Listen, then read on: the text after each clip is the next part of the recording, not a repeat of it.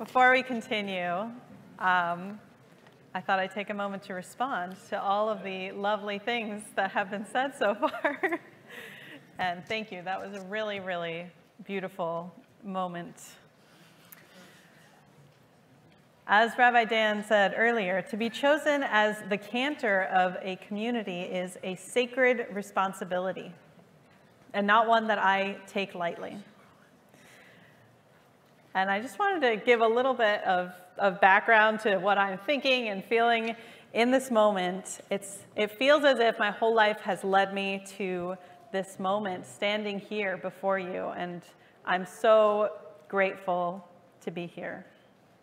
Just over seven years ago, I was asked by a rabbi to lead the High Holy Days for the first time at his synagogue, Congregation Shma Koleinu in Houston, Texas. I'd barely led a service, I hadn't really, since my own bat mitzvah.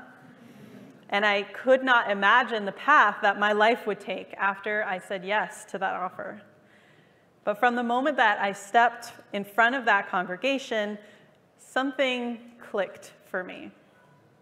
I didn't know what a cantor was at the time, really, but I was excited at the prospect of a calling that could bring together my Jewish upbringing, my passion for music, and the desire to work with people and make a difference in their lives.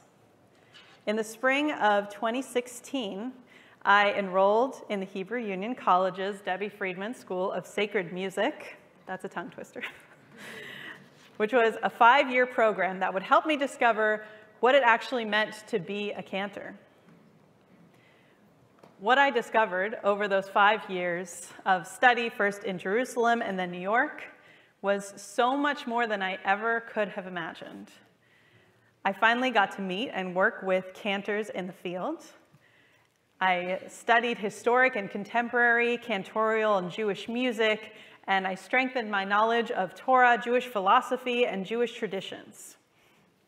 For my cantorial thesis at the end of my studies, I got to explore these questions even further, researching not just cantorial and rabbinic history, but also how Reform cantors and rabbis have worked in partnership in synagogue communities all around the world. All of this brings us to the beginning of 2021, when I was looking for a synagogue, and of course, Temple Sholom was looking for a cantor.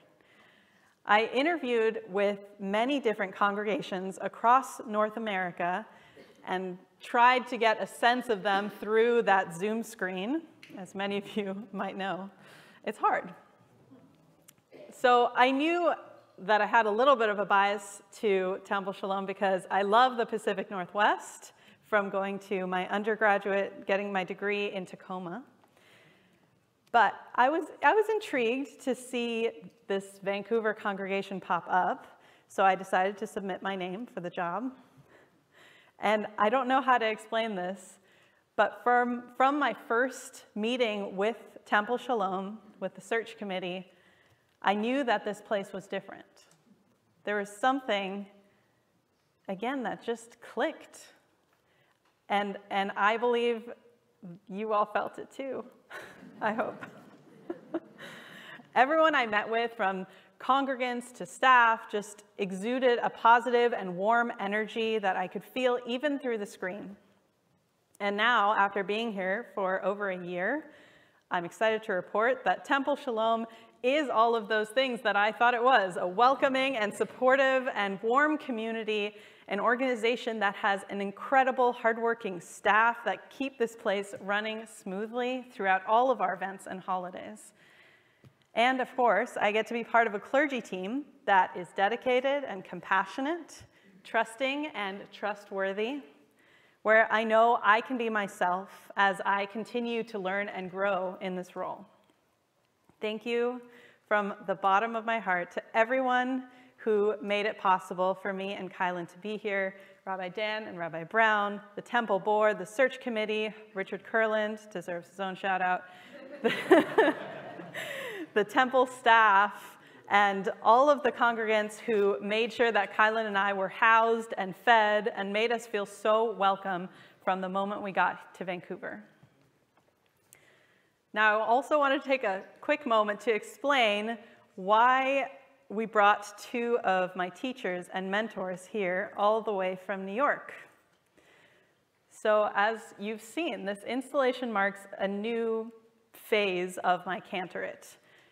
Not just being here at Temple Sholom, but actually being here as a full-fledged cantor as opposed to a student, which I was before I got here a year and a half ago.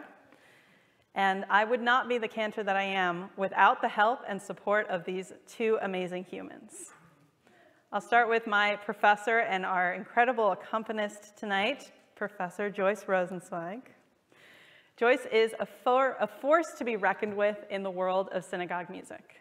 Her expertise in Jewish choral music opened my eyes to the breadth and depth of Jewish music, and her passion for musical collaboration showed me the beautiful and exciting ways that we can weave Jewish music into our synagogue services.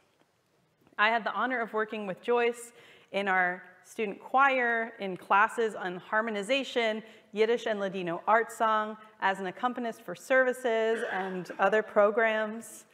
And every opportunity that we had to work together, I was blown away by Joyce's high caliber musicianship, her passion for teaching Jewish music, and her compassion for her students.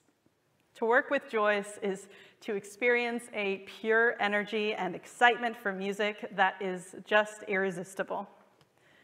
She can make a 200-year-old piece of chazanut feel as relevant and exciting as if it was written for this particular moment. And as someone with a background in classical singing, I was drawn to Joyce's presence. And I'm just so honored to call her a mentor and a friend. And I knew that I wanted Joyce to be part of my installation so that you could also experience this vision that Joyce has for what synagogue music can be, drawing on this exciting diversity that we have of Jewish and cantorial music. So thank you. Cantor Josh Breitzer. When I began my cantorial journey, I didn't really have a cantorial role model. But from the moment that I began cantorial school at HUC, I knew I'd found a teacher and a mentor in Cantor Breitzer. You are one of the most knowledgeable, energetic, and organized people that I've ever met. Serving, I know, as a cantorial role model for so many other students as well. If I ever have a question about chazanut, Jewish modes, holidays, Jewish traditions, Cantor Breitzer is the one I go to. Not only does he have a wealth of knowledge about the art of being a cantor, but also he's a gifted and passionate teacher dedicated to imparting that knowledge and inspiring a love of Chazanut in future generations of cantors. As a B'nai Mitzvah tutor and cantorial intern at Congregation Beth Elohim, CBE in Brooklyn, I got to see Cantor Breitzer's wisdom and musical prowess in action learning from all the ways that he brings together a myriad of styles and genres of Jewish music. Cantor Breitzer is also a beautiful singer, as you've heard, a sensitive musician, and a compassionate clergy presence both to his congregants and the HUC community. I'm so excited and honored to have him here to be part of my installation and for you all to experience his presence in person. So thank you. Now to close. In this week's Torah portion, tomorrow morning, we read the story of Noach and the flood, after which God promises never to flood the earth on that scale again. God says, Zot ot habrit asher ani noten beini uvenechem uven kol nefesh chaya. This is the sign of the covenant I make between me and you and every living being, creating the first rainbow in the sky. Tonight, we're celebrating a new covenant, one between me and our congregation. I feel so incredibly blessed to get to be the cantor of Temple Sholom and stand up here among inspiring mentors, family, friends, and this dedicated, wonderfully compassionate clergy team.